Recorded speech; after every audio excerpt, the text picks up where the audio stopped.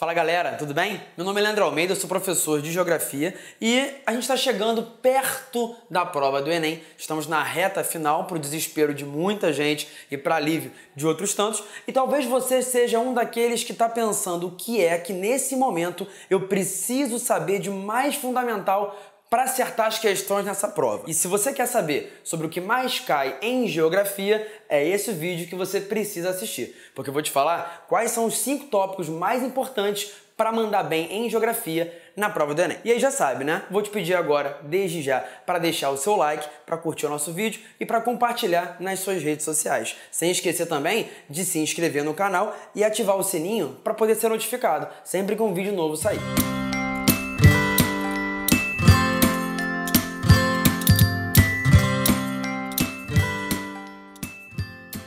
Vamos começar?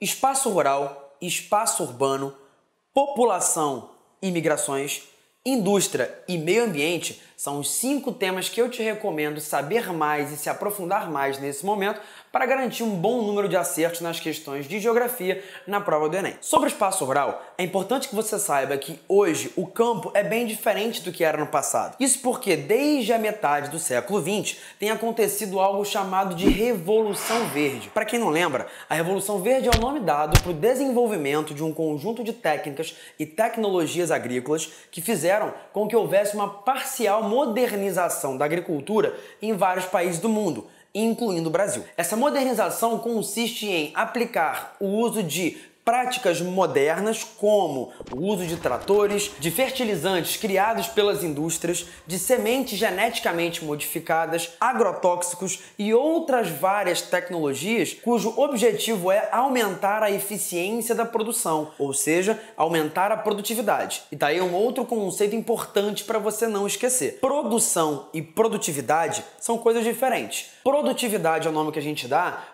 para a produção por área. Isso quer dizer que com o aumento da eficiência da produção através das práticas modernas, é possível aumentar a produção de alimentos sem necessariamente aumentar tanto a área plantada. E é disso que se trata o aumento da produtividade. Acontece que se a modernização agrícola trouxe uma série de consequências positivas, dentre as quais o aumento na eficiência na produção de alimentos, ela também trouxe uma série de problemas. Isso porque os agricultores que adotaram o chamado pacote tecnológico da Revolução Verde, se tornaram mais dependentes dessa tecnologia e de insumos agrícolas que muitas vezes sequer são fabricados no Brasil. Para completar, essa modernização custa caro e aí não é qualquer agricultor que consegue fazer com que a sua produção se torne mais eficiente. Muitos, ao tentarem fazer isso, acumulam dívidas e se veem quase que obrigados a vender as suas propriedades para pagarem aquilo que devem, fazendo com que acabe aumentando a concentração fundiária, num processo que é conhecido como fagocitose rural. Na biologia, não é geografia. Fagocitose rural é o que acontece quando as grandes propriedades englobam as propriedades menores e se tornam ainda maiores. E isso é um problema que acomete não só o Brasil, mas vários lugares do mundo. Aliás, vale a pena que você saiba que o espaço rural brasileiro é caracterizado pela grande concentração de terras na mão de poucas pessoas, o que a gente chama de concentração fundiária. E esse é um problema histórico que começou lá no período de colonização, quando houve uma distribuição de seis marias a poucas pessoas ligadas à coroa portuguesa e prosseguiu e se aprofundou quando em 1850 foi feita uma lei de terras que acabou praticamente inviabilizando o acesso à terra para as pessoas que não tivessem boas condições financeiras. Esse problema se agrava na metade do século XX com a modernização da agricultura, o que faz com que nós chamemos a modernização agrícola no Brasil de modernização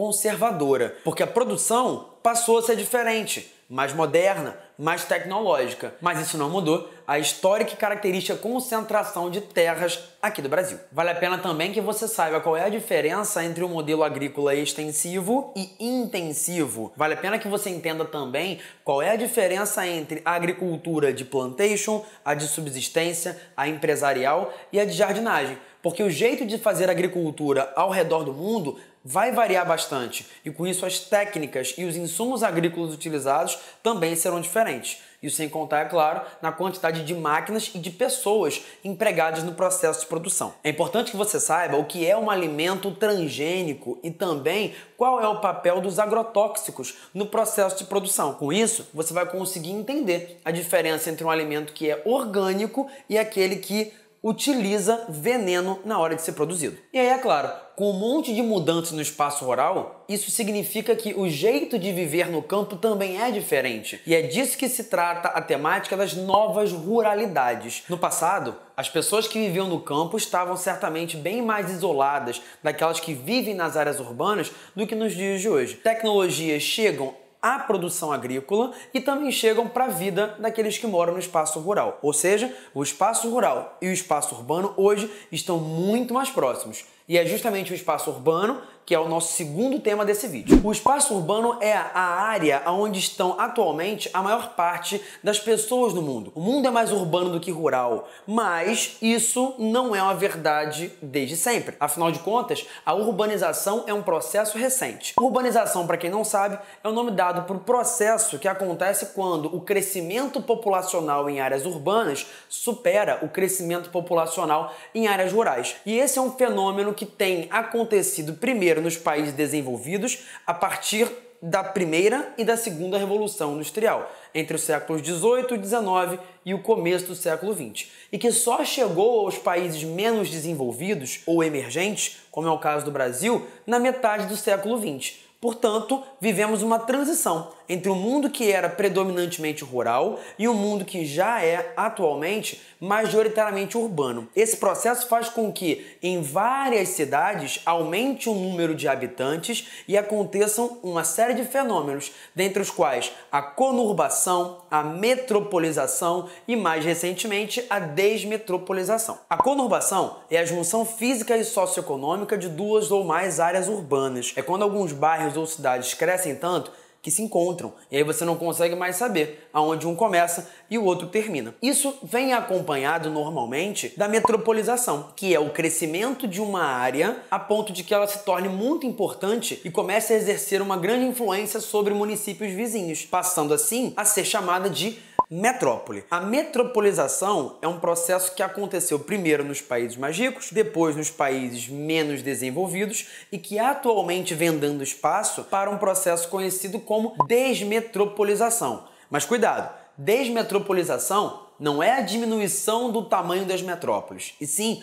a diminuição do ritmo de crescimento das metrópoles. Porque entre os anos 1970 e 80, várias fábricas que se localizavam nos centros das cidades saíram de lá e foram para outras cidades ou para outros países em busca de custos de produção menores. Com isso, viver nas metrópoles se tornou menos atraente, porque muitos dos empregos foram embora. E para completar, a vida nas grandes cidades tem uma série de outros problemas, como a violência, o excesso de trânsito e a saturação do espaço como um todo. O resultado é que hoje em dia as grandes metrópoles crescem de modo geral mais devagar e quem mais cresce são cidades de porte médio, e isso é uma consequência do processo de desmetropolização. Junto com esses processos, acontece também o surgimento de vários aglomerados urbanos, como são as megacidades, áreas urbanas com mais de 10 milhões de pessoas. As megalópolis, que são duas ou mais metrópoles conurbadas, que se juntam física e socioeconomicamente, e também das cidades globais, que são metrópoles cuja importância ultrapassa as fronteiras nacionais, fazendo com que elas se tornem metrópoles de influência mundial, seja por terem sedes de grandes empresas, por terem bolsas de valores importantes ou por sediarem eventos ou organizações internacionais. E já que eu estou falando de cidades, a gente pode falar também de quem vive nelas, ou seja, a população. População é um assunto super presente nas provas do Enem e o que você precisa saber é: a população brasileira hoje cresce num ritmo menor do que crescia no passado. Nós já passamos pela fase conhecida como explosão demográfica e hoje o que acontece no Brasil é uma diminuição das taxas de natalidade e de fecundidade, uma queda nas taxas de mortalidade e um aumento na expectativa de vida. Ou seja, os brasileiros estão vivendo mais tempo em média e tendo cada vez menos filhos. Com isso, a tendência é que nós passemos a ter um crescimento populacional cada vez menor, até que chegará uma época, daqui a algumas décadas, em que a população brasileira começará a diminuir. Esse já é um fenômeno visto em alguns países desenvolvidos que experimentam o que se conhece como envelhecimento populacional, com o aumento do número de idosos e a diminuição brutal do número de crianças. Acontece que em outros lugares do mundo, como na África, ainda há um crescimento populacional relativamente elevado. E isso porque vários dos países da África começaram depois o seu processo de industrialização, de urbanização e de mudança no ritmo de crescimento populacional, que é o que nós chamamos de transição demográfica. Ou seja, alguns lugares do mundo possuem um crescimento populacional alto em outros, o crescimento populacional é baixo e por isso não dá para achar que vai haver uma solução igual para todos os lugares do mundo. Em determinadas áreas, alguns acreditam que é importante aplicar medidas de planejamento familiar para reduzir o ritmo de nascimento de crianças. Em outros, já é necessário